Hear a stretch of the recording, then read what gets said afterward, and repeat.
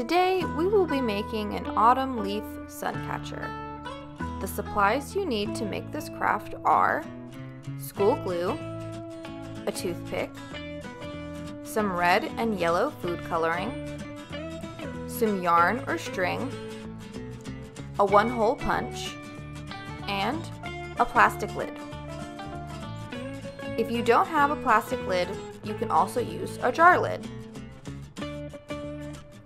First, pour some glue onto a lid. You only need enough glue to cover the lid until you can't see the plastic underneath. Make sure you spread the glue on the lid until it's as even as possible.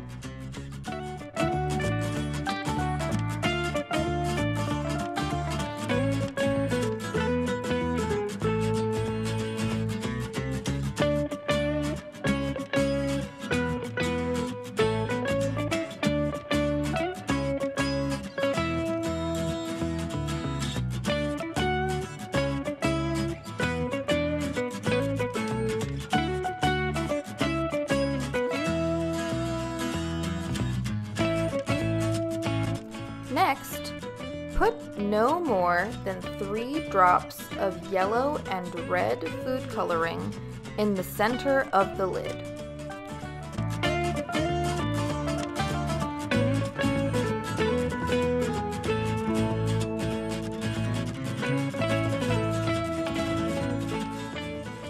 Take a toothpick and start mixing the colors together to the desired amount and begin to make the shape of a leaf in the glue. I chose to make a maple leaf, but you can choose any leaf shape you like.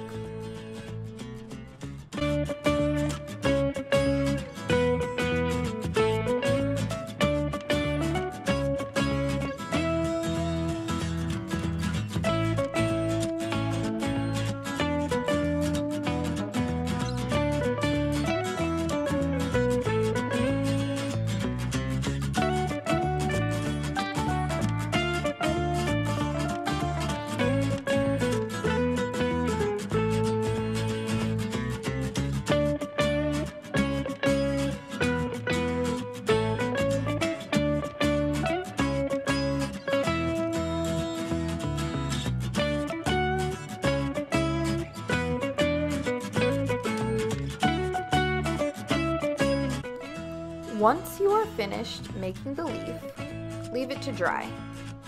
Depending on how much glue is used, it can take two to five days to completely dry. To help the glue dry, you can leave your craft somewhere warm and sunny, or you can put it in the refrigerator. Just be sure to leave it somewhere flat and level. Lastly, when your sun catcher is dry, peel it off the lid. You'll know it's completely dry when the glue turns from white to clear. After you've peeled the sun catcher off the lid, punch a hole through the top of it. Cut your string to whatever length you desire and string it through the hole.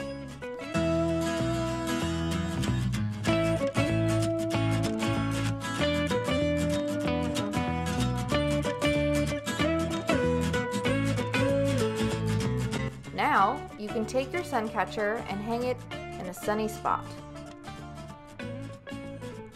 Thanks so much for joining in on our craft today. Today's craft was taken and adapted from a craft from babbledabbledo.com. Thanks for watching our video and see you next time.